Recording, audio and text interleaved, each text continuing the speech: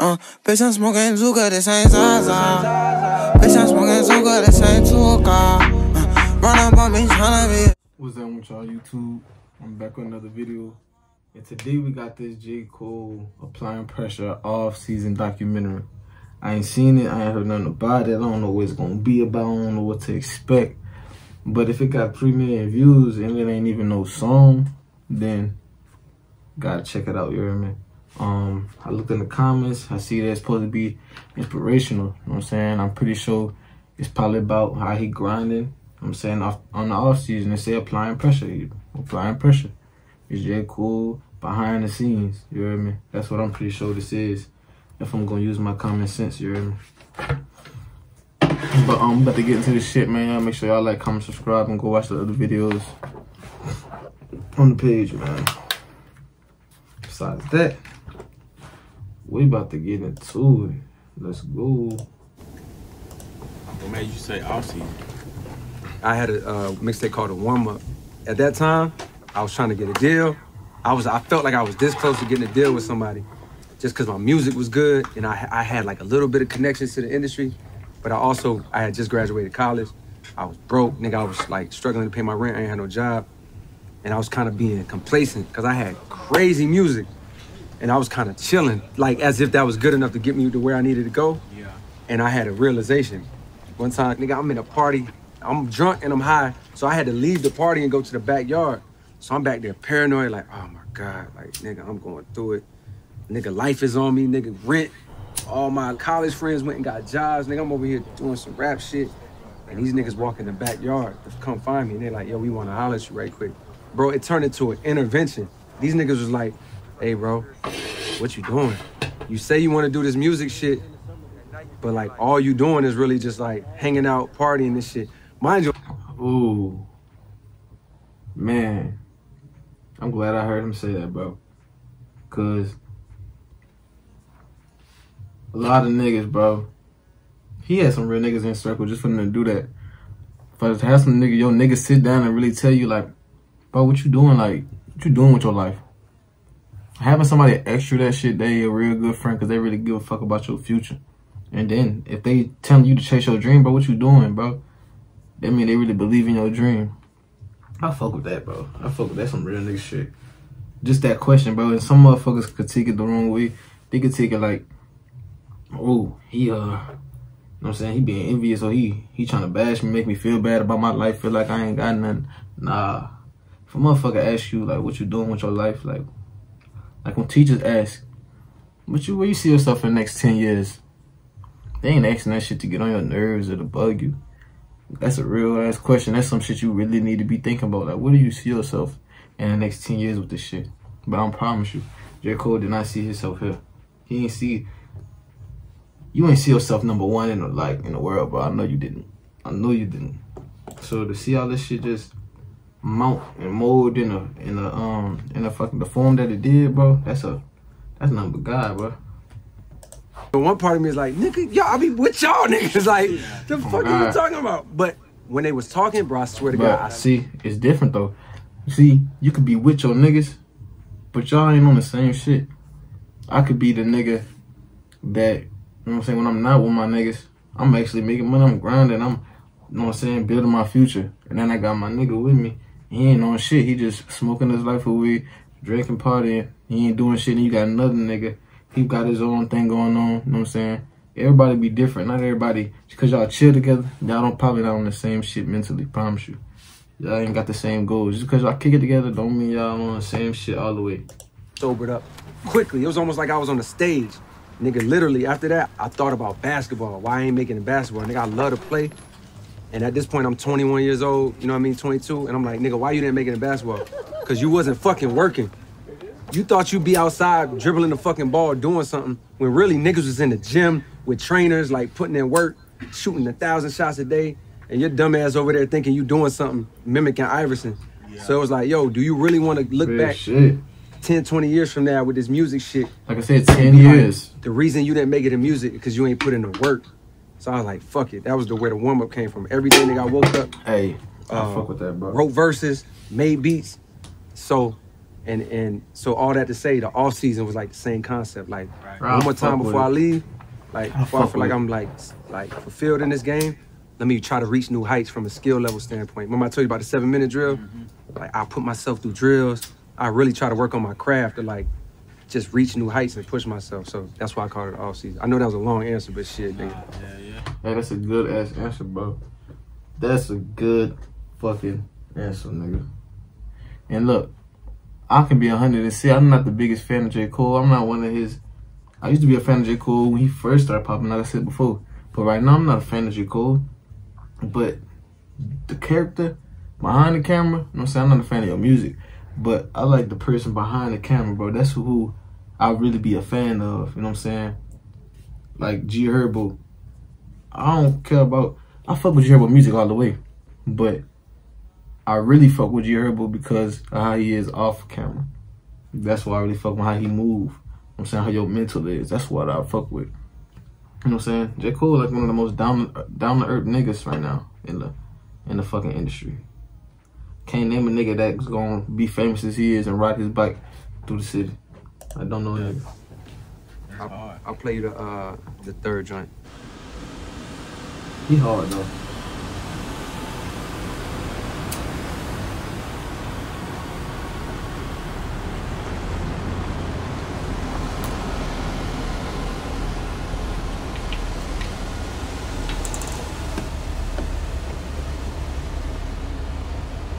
Past five years has been a fight against comfort.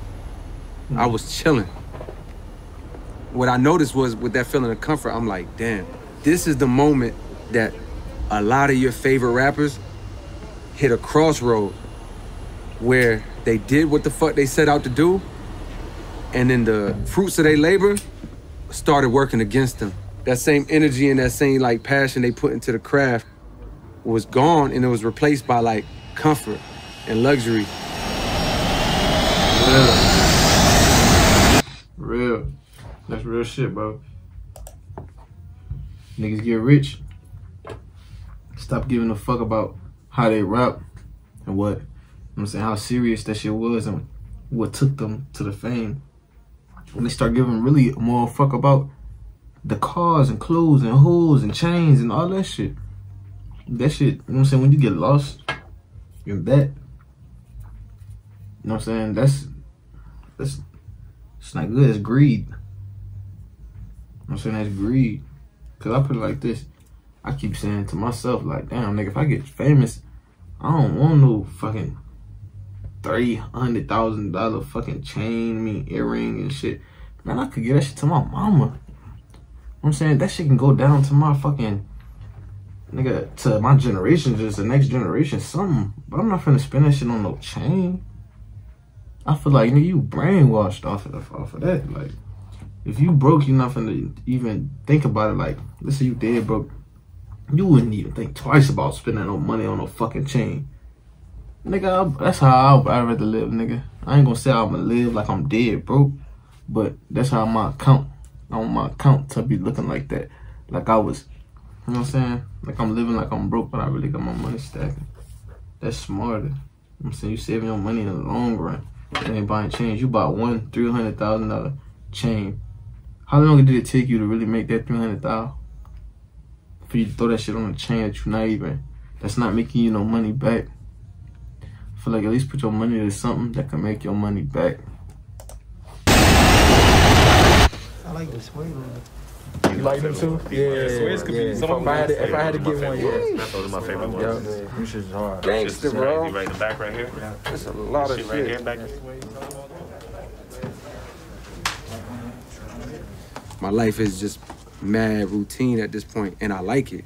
So to go shoot a video, to shoot a doc, to even just come downstairs and do this, yeah, I swear to God, bruh, I swear to yo, that's the level of like comfort slash laziness that I've like I've reached in my life.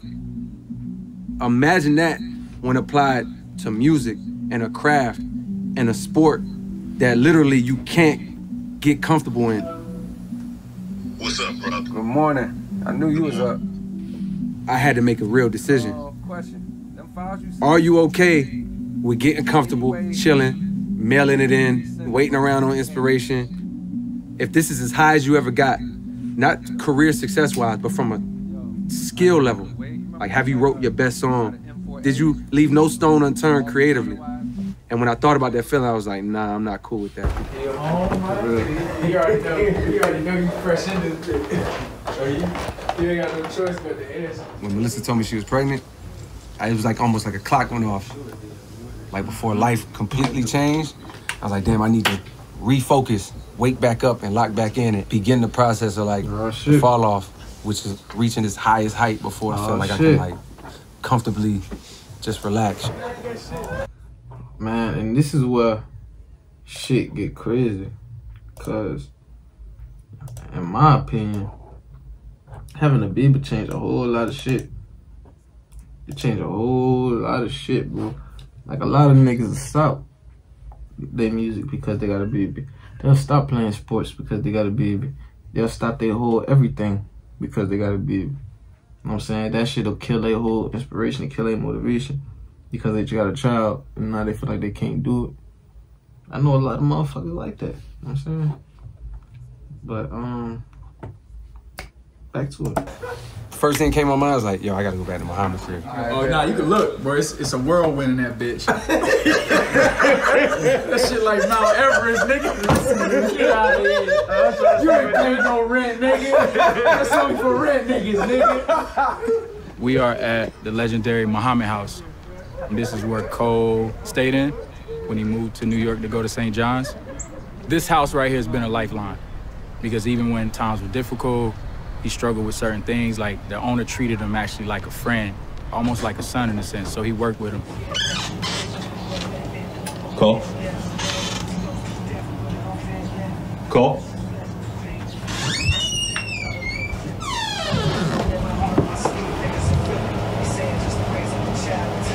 Twenty sixteen.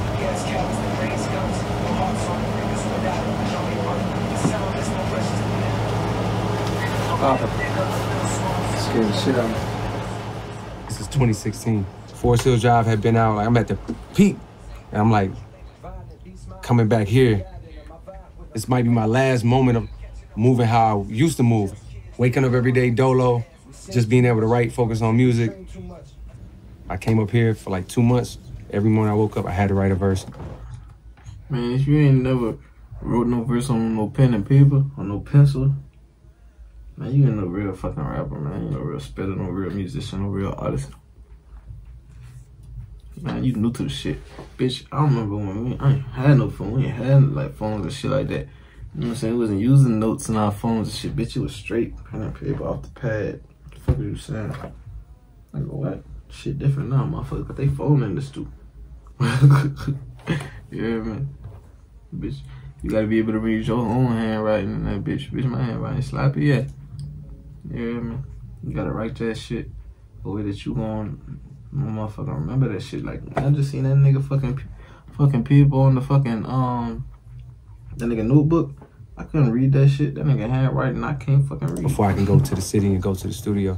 And then after the studio, you I drive all the way back to Queens, wake up here, write again, record again, and then go.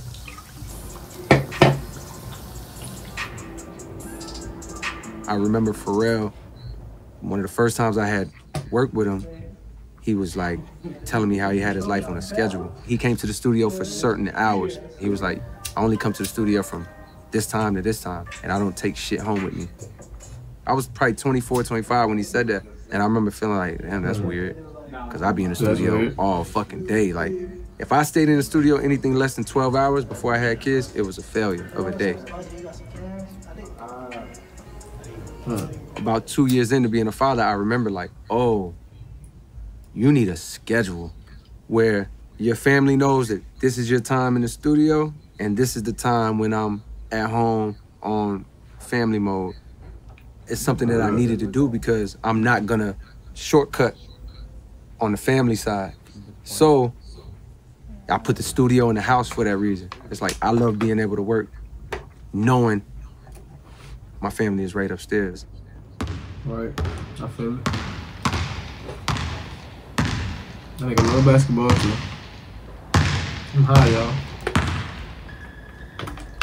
No. Nope, I'm about to say.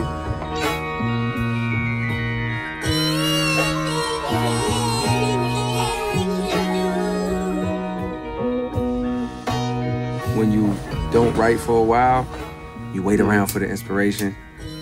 That's the thing that I had to cut out because you can wait forever and nothing will ever come. And then when you come back, one of the main things I notice in the process is like the trust you have in the things that you say or the things that want to be said, like the ideas that come to your mind that want to come out and they want to be written down. You second guess them because you haven't been in the momentum of trusting and, and seeing results. So that first line that comes, you're like, oh, no, no, that's trash. Ah, oh, no, I said some shit like that before. Oh, no, that's corny. Instead of just being like, yo, it's a first line. Write the shit down and trust that it'll lead you to the second line and to the third. Right. You know what I mean? So like, YouTube TV has no hidden fees Man, and includes this shit, unlimited bro. DVR. real shit, Try shit it is free. Inspiration for real. They wasn't lying in the comments. They was not lying in the comments. You know what I'm saying? I like. I had to just start showing up.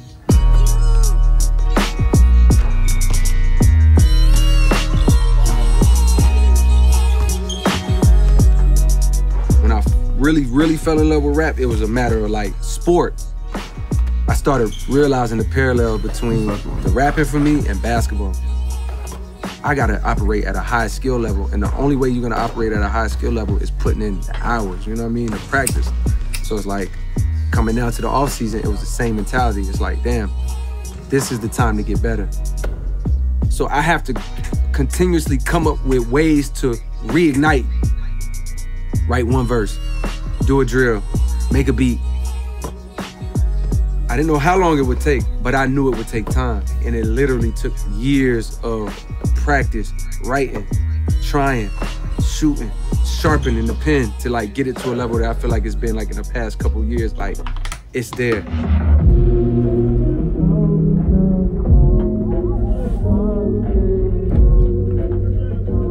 Almost like you treated those features as an album, as like a project. Facts, yeah. Is that how you thought of it? Yeah, because it was a mind state. When you put yourself in uncomfortable moments, you find out a lot about yourself. And usually you find out that you're capable of rising to that bar that's set by that uncomfortable situation. So what's something I can do? Yo, when somebody bring you a feature, say yes.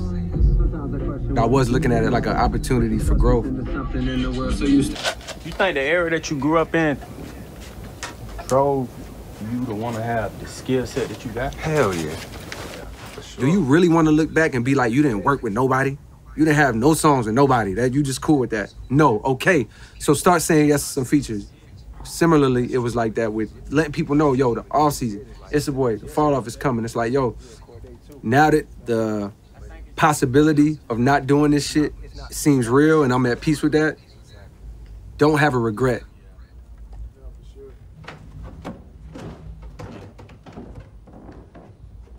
There's songs on here in this whole fall off era that I've been sitting on for years.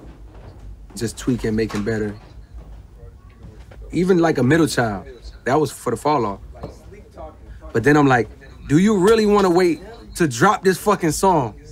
So I'm like, yo, fuck it. We just put out Middle Child like as a single. And that shit went crazy. You know, I never came up here when you came back. Oh yeah, yeah. Now normally I would just hoard that shit. And similarly, yes, I've been hoarding songs because I'm like, no, I made this for the fall off. This is too special. Now over the years, they've gotten better. So maybe some of them have like fallen to the wayside, you know what I mean? And, and like they won't make it. I still got more work to do, especially on the fall off specifically. I got a few more songs I need to write. I got more tinkering I need to do. But the vision, I finally got this shit sculpted and I can see this shit. Like for a long time, I just knew what I wanted to do, but I just couldn't see it. It was just like, this is the most ambitious shit I've ever done. It's a patience and a trust. It's a tightrope to walk. But I'm walking that shit. I gotta go back to his music.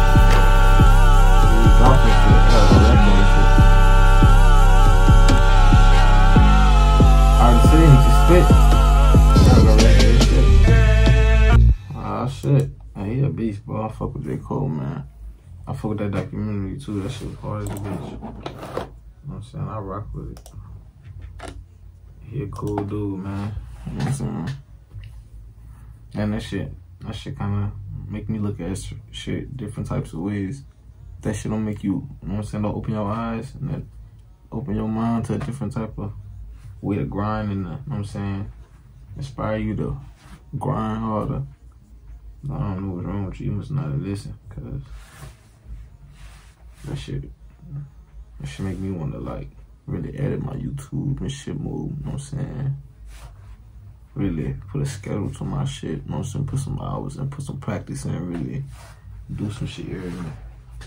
But I fuck with that ear man anyway. I'm out too. Hi, bitch. I'll see.